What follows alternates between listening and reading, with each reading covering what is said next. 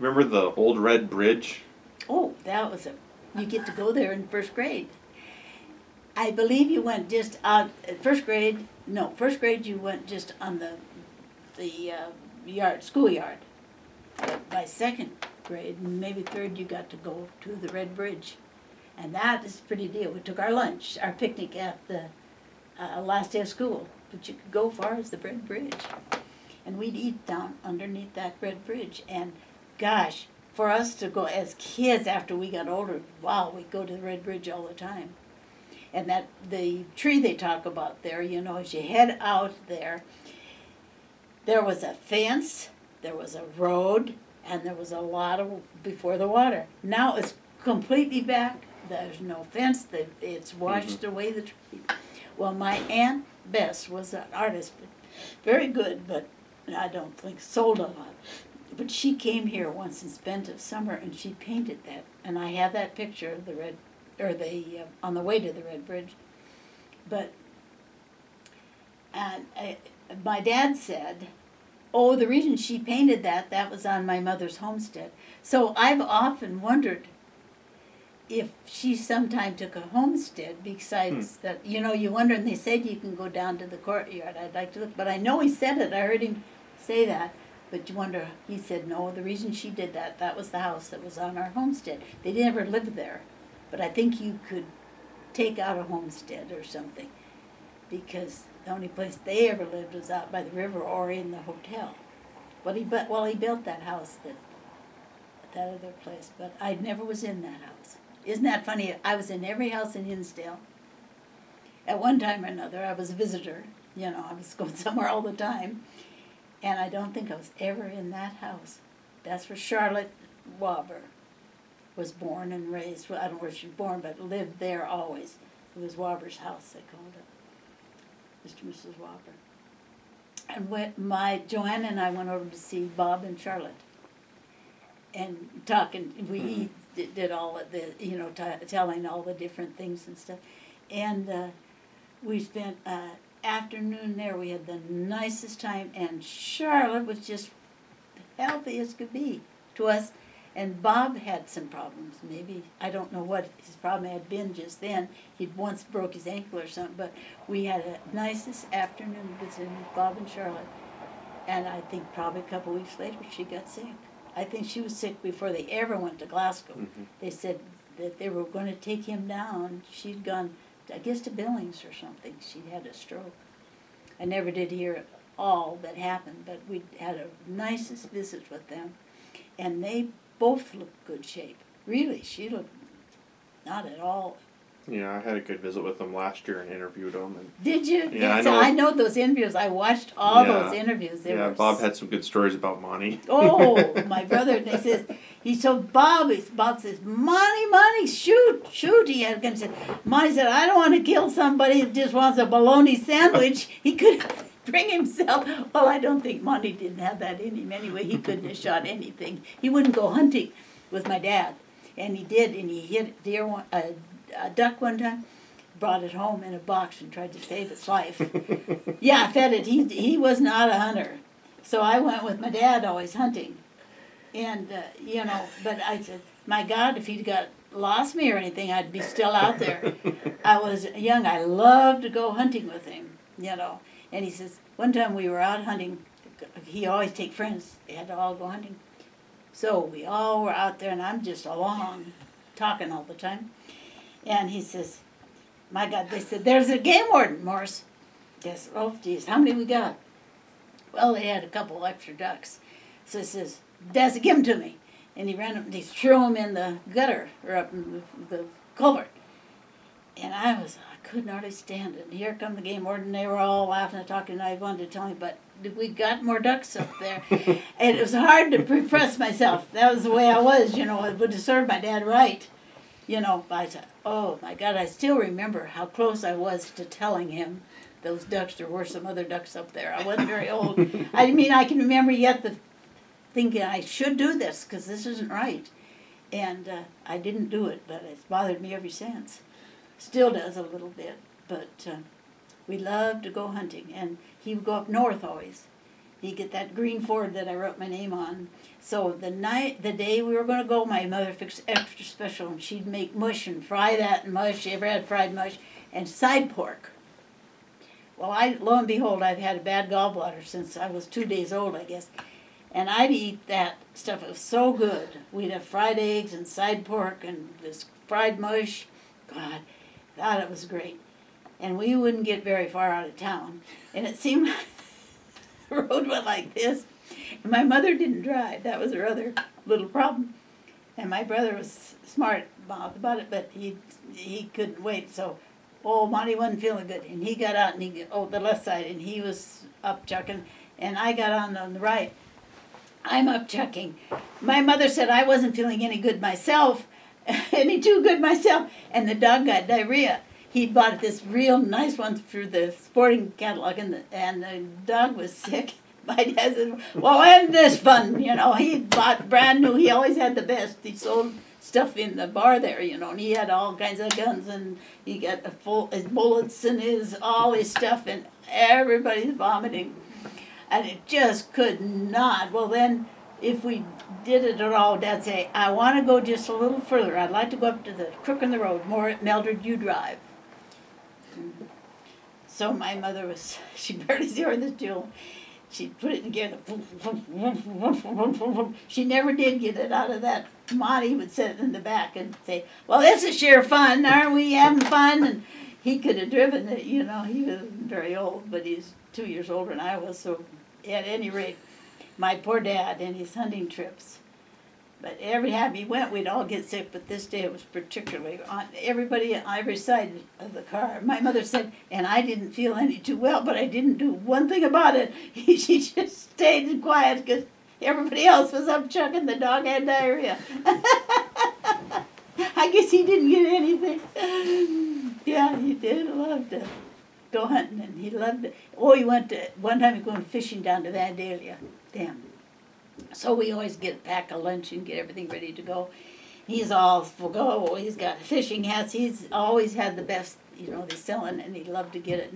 He got a brand new rod to reel, and everything is beautiful. And he got out on the dam, and he he gets this thing, and he goes, and he threw the whole thing over the dam. It got away from him, and he threw all his new equipment. Went over there. He said, "Well, we might as well go home." I don't. I've often wondered if anybody ever found all that equipment, brand new, brand new. He threw it right over that dam, and that's the only time I ever remember being to the dam. You know, is that funny? You, you hear about Vandalia Dam, but I don't remember. We used to take a boat. He had a boat for a while. We could go as far as Vandalia Dam and then turn around. But he said he and uh, Pippin uh, he was a contractor. He'd moved dirt and stuff. I don't really know. They lived up by that uh, house across that barn across the street. But he bought a big boat, pretty big boat. And it was nice. And my dad had a big motor. He didn't have too big a boat, so they thought one day to put the big motor on the small boat and see how fast they could go. Dad, Pippin and Dad, and I remember my mother standing. We were watching it, and they went and they just went straight in the air and turned over and turned upside down. And my dad went in, he said, into that mud in the bottom of the river. And that was the end of his fishing hat. He had a hat with a lot of different fish things on it and stuff. And he said it's buried down there in that river somewhere. Well, of course, my mother thought my dad was going to die, and she started bawling and carrying on. And my God, I couldn't, I'll never forget it. She was so that my dad was her whole life. You know how that is, and no matter what, that was. He was right about everything, and uh, she would try to protect you. He had a little bit of a temper sometimes, and she didn't know who to to go for. Then she would try to protect me if I got too bad. I broke the top of the convertible one time, and I heard a lot of words about that. But she said, "Well, Peggy didn't mean to do it, you know. Now, Morris, take it easy." You know, this is not something that she did on purpose and how it is when you're a kid and we had a carload of people. And I, I wouldn't even want to do that anymore and take a bunch of people to the hot water wells and convertible. You know, it scares me to death to think about it. Somebody fall out or have a wreck or something.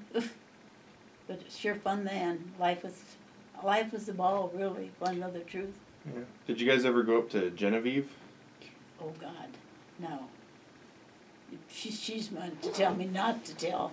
So that was the one I just received the message. It's true. Don't you tell that story? No, Okay. no. I've heard plenty of stories about Genevieve that were. I've never very been there good. before, and I'll never go there again. Yeah, that's enough. Yeah, it was a terrible situation, and I've, I've forgiven the other person involved. Okay. So, when you went to school, it was in the the old two two story school. It's the only thing. Two first two grades on the bottom floor, and the third and fourth the next one, and then uh, the you start up the stairs. First you go up the left side for the the next grades, and the other side, and that big kids coming down. And oddly enough, living in the hotel, the older kids kind of scared me. You know, they could talk to little kids. They said they'd talk to come to me. I didn't want anything to do with them. I wasn't sure about big kids. You know, isn't that funny? And I know that the big kids went up the stairs, the older kids, and I, I didn't like to be around them at all, really. But uh, it was it was just a wonderful place. You know, who, who would ever think of? And we we graduated from there, Mm-hmm. and we had the little gym. They didn't play basketball there then. We had the school plays. That was one of my things. I love the school plays. Then we had the big gym, and uh, they'd fill it up all the time. Well, everybody, not as much now, but that was the thing everybody was involved in. You know, the uh, the parents all came and they're all interested. But I think even more so with Stephen being coach when I was here before. I said sometimes I'd get in trouble for some things he'd done. You know how they treat. They're quite conscious of what happens to their kids. And I said, he told me now. I said, now, Mom, I'm going to coach Whitewater, Saco, and Hinsdale. And you'll have people from everywhere on you. You know what your son did? He said, well, I'm so glad I could do anything that it didn't bother me, you know. But it was fun to watch it. I just loved it. I went to one in uh, uh, Frazer, was it? No, uh, hmm, Frazer's. Where the hell is Frazer? Nashua. It's Saco, Frazer. Is it Frazer and Saco, Frazer? The towns. So you got Saco, us, Glasgow, No, but going this uh, way. Whitewater, Dodson. Dodson. Dodson. Dodson, isn't that funny? Been a while. Went to Dodson. And I'd never been there before. I didn't know what school was. When we were in school, they didn't take us to the games. Anybody, even cheerleaders, we didn't go to the games. We went to the tournaments, but we never went to the games. Hmm. Yeah, that. Uh, I suppose if the parents drove you or something, but they didn't have a bus for the kids to go.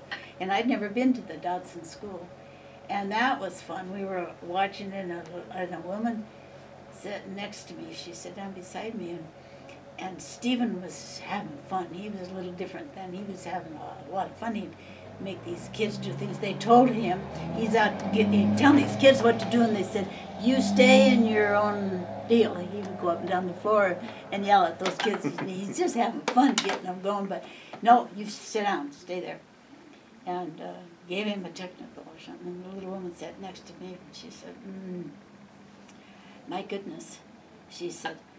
Uh, he's is he kind of a hard kid? Is he kind of honorary? And I said, no, no, he's there's nothing. And I said, and then the referee yelled at him, going to give him a technical. And then and she said, my goodness. And I said, oh, don't worry about it. I said, that's my son. He's just having fun. And she said, oh, well, that referee's my son, but he's not the referee that gave him the thing. She wanted to know. She see looked Steve over and big guy No, he's not the one that, you know, gave him the technical. They all thought that was so cute. She was trying to protect her kid, and I'm trying to say, Oh, Steve wouldn't do that. You know, he's just having fun. And it's kind of cute to, how you get involved in it, you know. It's fun to watch. Fun to watch how they, but sometimes the mother wasn't too happy, and they might tell me too, you know. He said, You're going to have them from all over now, Mom. it won't be just Hinsdale be mad at you. Uh, but I had fun watching it. It really was fun. Those kids, and he has such a good attitude now. He said, I don't care what they do, except but I want them to be good men. You know, to, to, to take each mm-hmm. kid's got, some of them got faults, but I don't wanna, want 'em making fun of anybody or anything, you know. He's teaching them how to behave and that, they can't realize, some of them still think shouldn't, you know, if you don't put my kid in, that's bad deal and that kind of stuff, but I wouldn't be a good mother to sit there if it got real hot pressured. I'd be involved down on the floor. my kid. So, Where'd they used to have the old rodeos? Were they across the tracks all or? over. They, you know, I remember them going uh, out towards Saco. There was a place out there they had one. And then uh, it's an odd thing that I can remember that. And I've got, I probably all this history. You'd love to see some of these rodeo things I've got. Uh, when Dad was in it, they had everything, and then they even had an old timers and with all these old fellas that you think of now, you know, they're very old part of history. But they, the whole thing, Dad wrote in every, participated in everything. Isn't that Did funny? say they would just take their cars and make a circle? That's the first one. They had Wolf Point. He's in that, and they didn't have any deal, so they just put a circle around of cars, and that would. They had quite a time doing it, but uh, we've got pictures of him, and, and I've got a picture of the school. Do you have that big picture of the school? I'm not sure.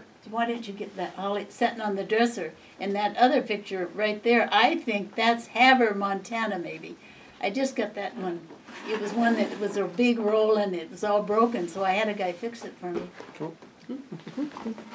Yeah, we'll have to. Great Northern See, I think Stampede. maybe Yeah, that would be Havre. Haver. Yeah. Dad, I can see Dad. There's there. Morris right in the middle. Yeah, right in the middle thing. He never missed one. And then this is the school. Somebody gave that to me one year. Maybe that's one they. Okay. That's. Did you have that one up? I can't remember. I think you might have. So what's that tall building in to the left there? I wonder. I think that's the pump house. The pump house. We could hear the pump house from Yeah. the school. You could hear it. And yeah, that was back before they had any of the additions on, wasn't it? Because then they added what's now the They- library and the shop and all the that library. stuff. Oh no, there was not a shop. There was no library, but they did add the big gym. We didn't Mhm. have that at first, and then somebody said that was to give people jobs. See, that was built in '29, and then they they built that thing on later on. But That's I pretty cool. always kind of remember it. I think that should be in a museum or something somewhere, you know, some of that stuff, they, uh, have a lot. Don't go telling. Peggy Cornwell and Kitty Lou that. They might take it off your hands.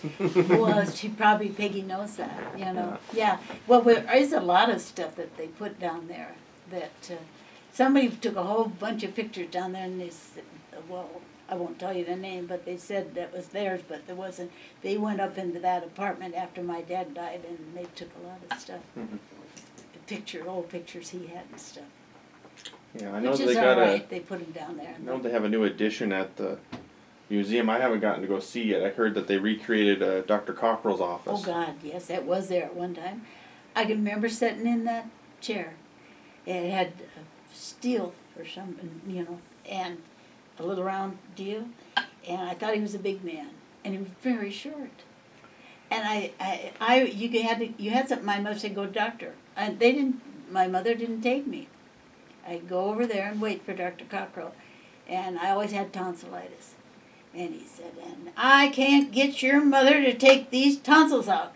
He was so upset. He loved to take out tonsils. He'd take out oh, half of them, seven Duncan girls at one time, I think. Always crazy to take out tonsils, but my mother had her tonsils taken out when she was little, and they wrapped her in a sheet and scared the hell out of her. And then they did it again. They grew back, and she had to have it done twice. And she made up her mind, never is she going to do that to any of her kids. So they did. Can you take out some words that I said that I didn't mean to say? But Yeah, I can at any rate, we didn't get them out, and that was a real problem for Dr. Cockrell. But we'd go over there, and I remember going over and I'd cut my knee at school, and he clamped it. They, had a clamp thing. It looked like it when they put this clamp in rather than stitches. And he'd just about get ready to clamp her, and I'd give him a shove. And he said, and you do it one more time, and I'm going to send somebody to get your dad. he brought out the big guns. And I said, I really wasn't scared of my dad. I would have told my dad, don't you touch me. but uh, yeah, and Dr. Cockrell, uh, he delivered me in the hotel. Mrs. McManus, the one down that little McManus house. Uh, she and her husband was kind of a recluse. They thought he was in on that the train robbery or Hmm. something. Don't remember my dad ever saying anything. I would say something about, did that really happen? And he said, Peggy, you hear a lot of things. And that's all he handled. When I went to him with something gossip, I said, did that happen? He said, you hear a lot of things. And that was it. He didn't talk about it. But they, he was quiet, kind of recluse, the guy, and ended up, whatever happened, I have no idea. But he didn't, Mr. Studrudder would help him out a little bit. I think he was Catholic. And he would go sit down and see about him. And he had some horses that he kept out in the, the behind their place. But you didn't see Mr. McManus. But after she died, she was the dearest, sweetest woman. And she'd come up to see me in the hotel, I suppose, because I was one of her babies or something. And uh, he was just, she was just the sweetest woman. I can't remember what.